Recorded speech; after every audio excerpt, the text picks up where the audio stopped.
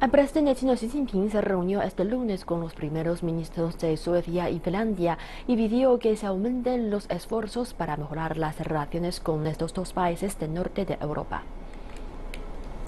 Tras reunirse con el primer ministro sueco Stefan Löfven, Xi Jinping llamó a estrechar la cooperación bilateral en materia de energía limpia, ciencias biológicas, finanzas ecológicas, ferrocarril de alta velocidad y vuelo espacial.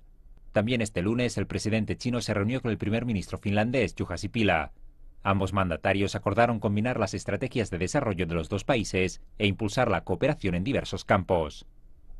Xi urgió alinear el decimotercer plan quinquenal con el Plan Visión Finlandia 2025 y fortalecer la cooperación pragmática en áreas como las telecomunicaciones, la manufactura inteligente, la bioeconomía y la tecnología de protección medioambiental.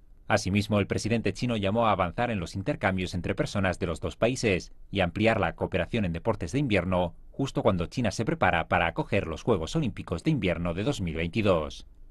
Tanto Loven como Sipila se encuentran en China con motivo de la undécima reunión anual de los nuevos campeones, conocida como Davos de verano. La reunión tendrá lugar entre el 27 y el 29 de junio en la ciudad costera de Talian, en el noreste de China. CGTN en español.